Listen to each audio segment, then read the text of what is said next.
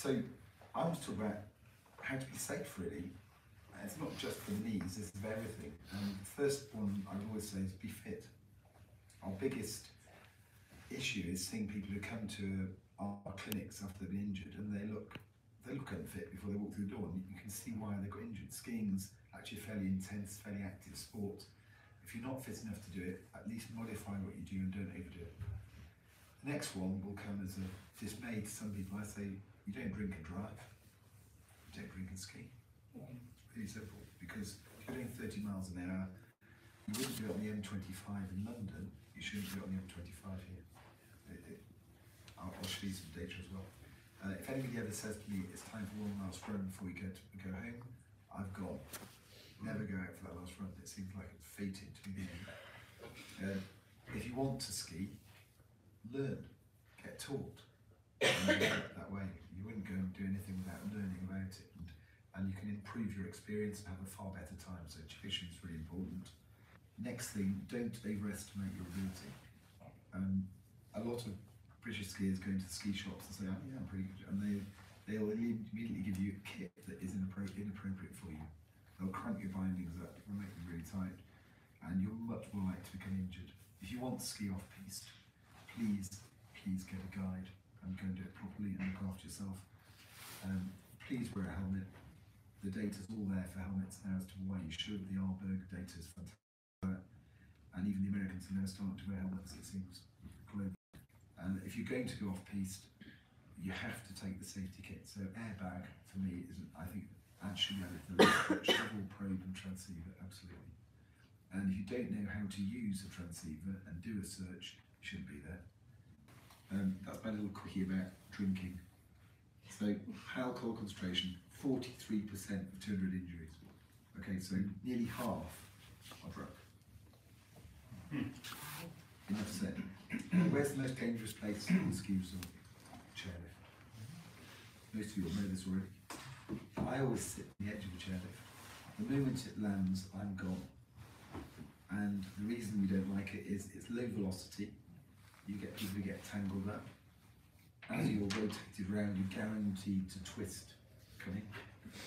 Next thing, tobogganing, big thing here for a certain restaurant up the mountain.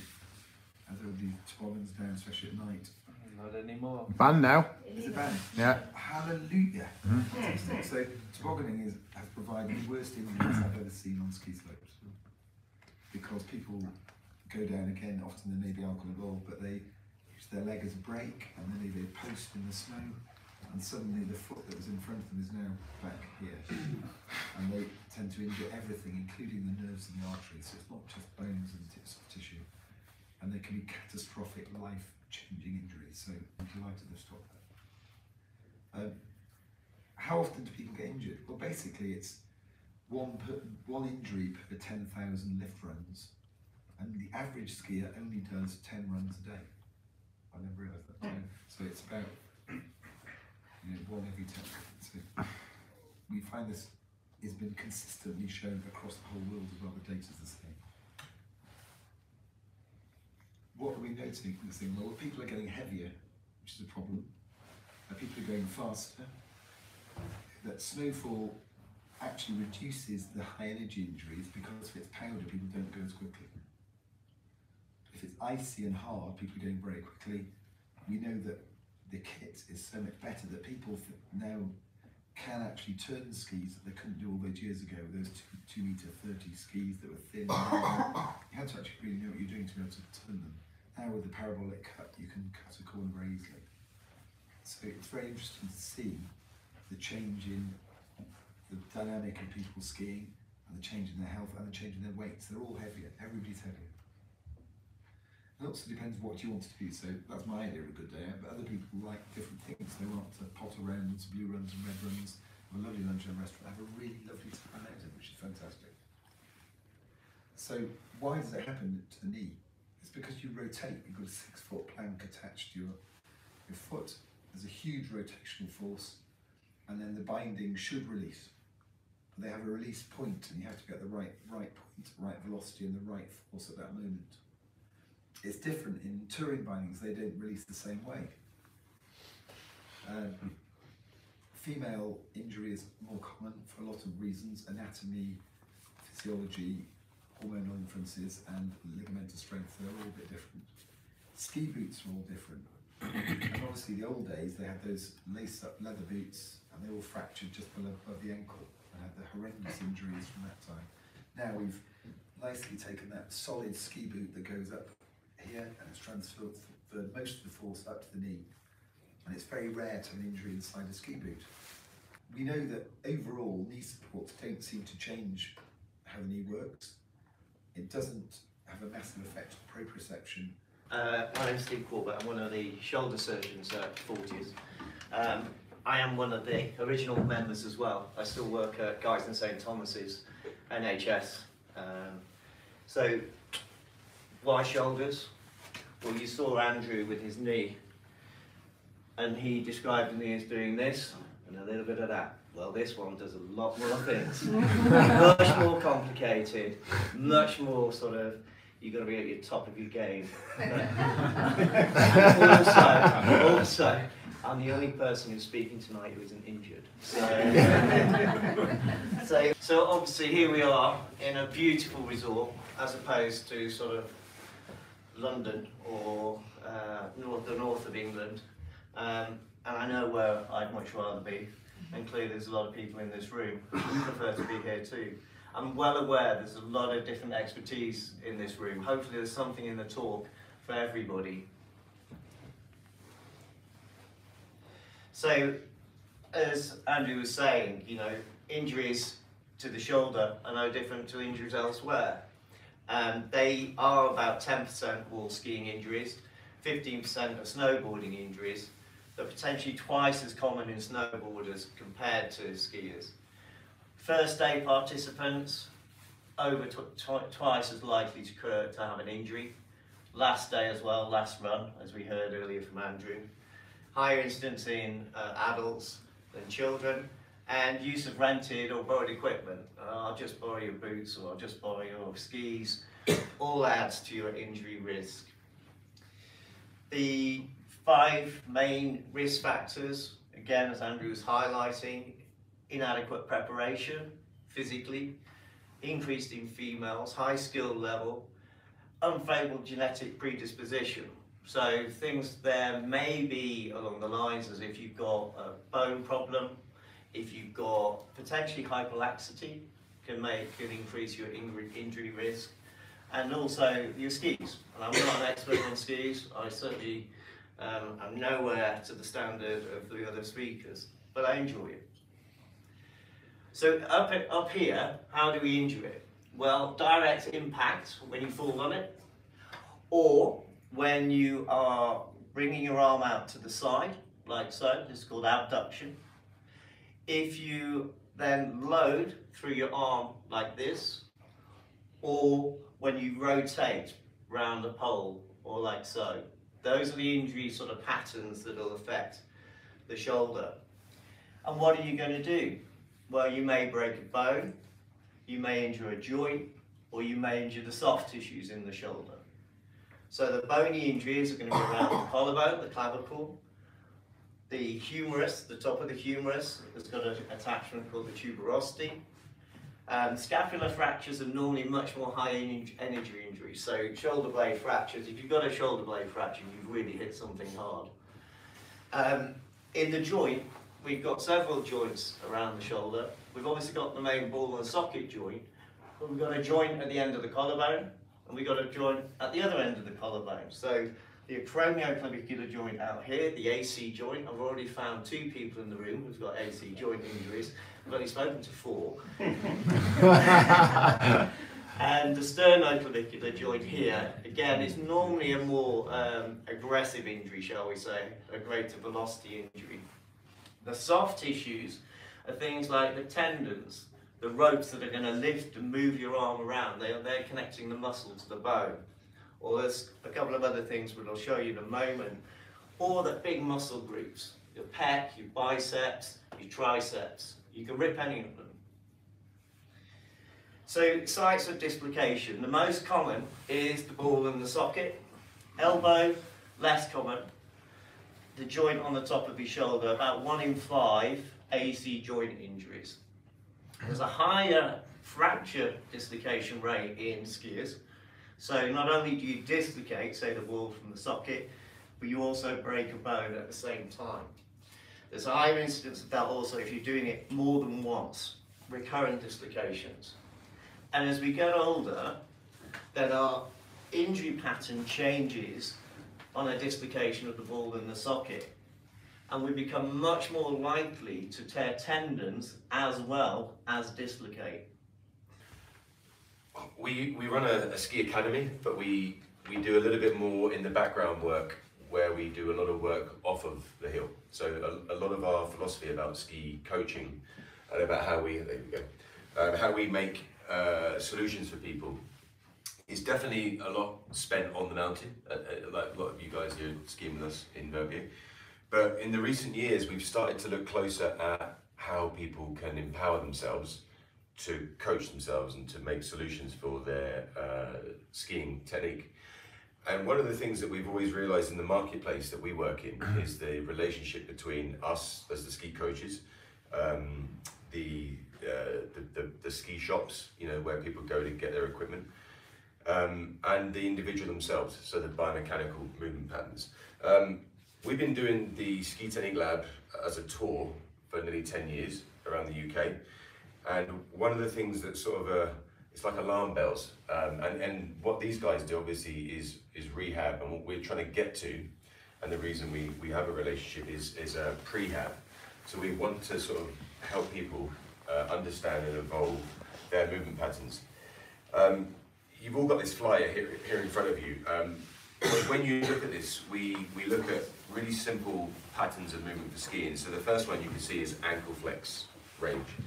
Um, when we test people on this range, we, we see that people usually come up short. So most of the stuff that we do when we're doing our talks around the UK, um, we would love in the future, we're not, we're not going to test people tonight, we wouldn't have time to do that, but we would love in the future that people almost um, condition themselves for a ski boot fit. So right, you know, some people go to get the ski boot fitted and their, their foot is not physically conditioned uh, to do that. Um, some people can be quite tight in their calf muscles, some people can lack flexibility, but even the muscles around the foot uh, could do with um, some, some education. So that's, that's one area that we see. When we do the, the flex test, we, we often see that people have a, a difference between their left and right uh, range of movement. Okay, so this usually translates straight back into their skiing. And if you got put under pressure, if you're skiing something where you uh, was unpredictable that you hit like a, a cookie in the powder, you know, and, and you slammed it, when we often see these on our on our talks and our tests that someone has a three or four centimeter difference between left and right, it's usually going to be one side of the, the leg that's going to take the brunt of, a, of an injury. Um, ski asymmetry is it's another thing we, we focus on as the guys were mentioning earlier, you know, MCL, um, ski asymmetry, I mean, most of the, the, people that we teach in, in an academy week will have an A-frame. And that, you know, that, that really goes without saying. Um, and if people had the chance to sort of learn about the, the muscles in the legs that could stabilize the symmetry in the legs, they would actually do a better job than we do as ski coaches on the hill trying to fix someone's A-frame. So if you learn what muscle groups can stabilize your legs, then, then you get a, a big feedback. We do a thing on here called a 10 second test, which is very slowly trying to pull your feet towards each other.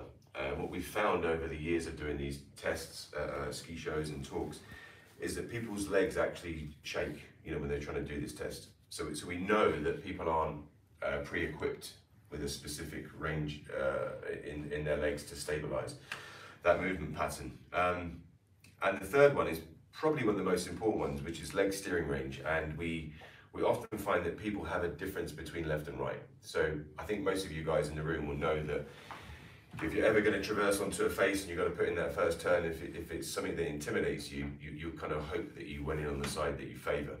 Um, but we all know as skiers that everybody has a weaker turn direction. With the leg steering range, we look at the inner rotation of the outside leg. So that could also be translated as the downhill leg of the turn. Um, and most of the people that we test when we do this usually show up a 20, 25 uh, degree difference between left and right. So if you can identify that before someone comes out to the slopes, you, you've got a really good chance of trying to improve their skiing technique before they've got there. And uh, we were talking about this the other day that, that there is so much that can be done off of snow.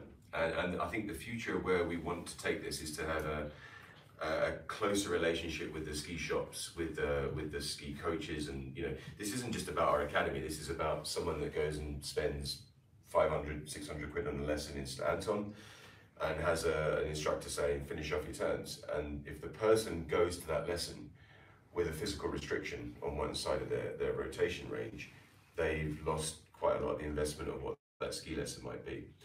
So there are six, uh, sorry, there's six points altogether. You, you'll see on, you know, definitely take time to have a look through the website on this and, and we put a little bit of effort into explaining to people what they can do to help improve these movement patterns. But the idea behind this is that to avoid getting into the queue to see these guys, you know, if, if you can unlock a, a lot of the movement patterns, uh, you'll be a better skier. And, and, the guys are making the point as well, you know, get better at skiing anyway.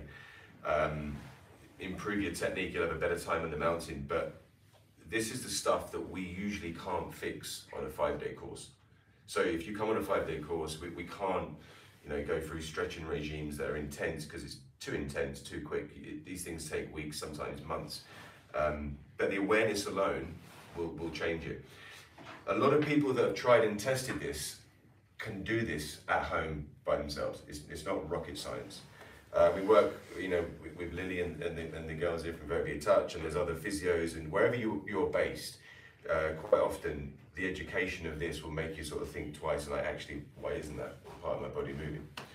Um, and skiing's not rocket science. You know, there's there's a there's a few movement patterns that we have to make, but it's um, it's really interesting for us, you know, doing these talks and doing these lectures when we go around, you know, on our UK tour to see just how many people, which I would say is way over 95%, don't actually have the movement patterns in their body to perform the sport of skiing technically correct.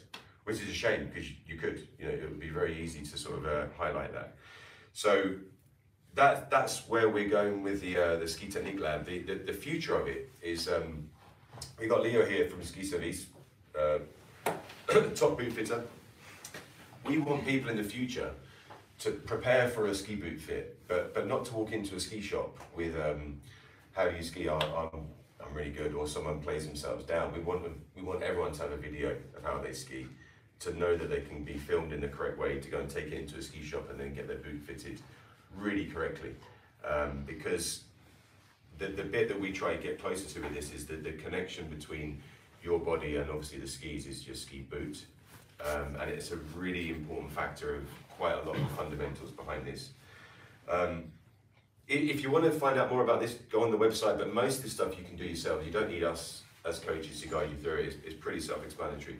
Um, but um, this is the this is the philosophy behind how we coach, and this is also one of the reasons that we've got uh, to know these guys. Um, and I, have busted myself up a few times, so this is the other reason these guys are here. So I, I didn't really want to say too much tonight. This is kind of a future as to where we're trying to take our coaching to, to make relationships with people that can better benefit people. Um, but that's that's it really. That's uh, th these guys were the sort of the, the these were the money for the night for you guys coming tonight. Um, but that, that's that's it. So we, are around. If you want to ever ask us questions about it, you can do. Uh, and, and the tests themselves, definitely try and put the time into doing it because you'll probably find that you'll have a very different pattern between your left and right side of the body.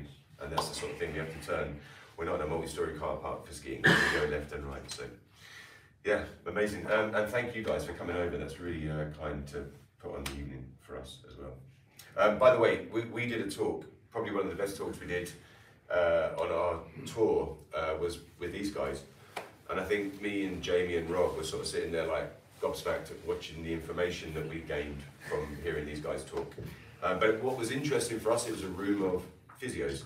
Um, and, and interesting for them, they were all quite interested to to get a better education on this. So, so one of the things about the Ski Technique Lab is uh, there is a, an education program, an expert program. Some of the boot fitters in the UK have gone through it um, and put the certificate up on the wall. Physios that we work with uh, working through it and gone through it. And um, that would hopefully be the future. The, the, the, the, people, not us, but the people that are dealing with the customers that want to get ski fit or want to get a good boot fit, have a better education for this. That's it. So good? Yeah.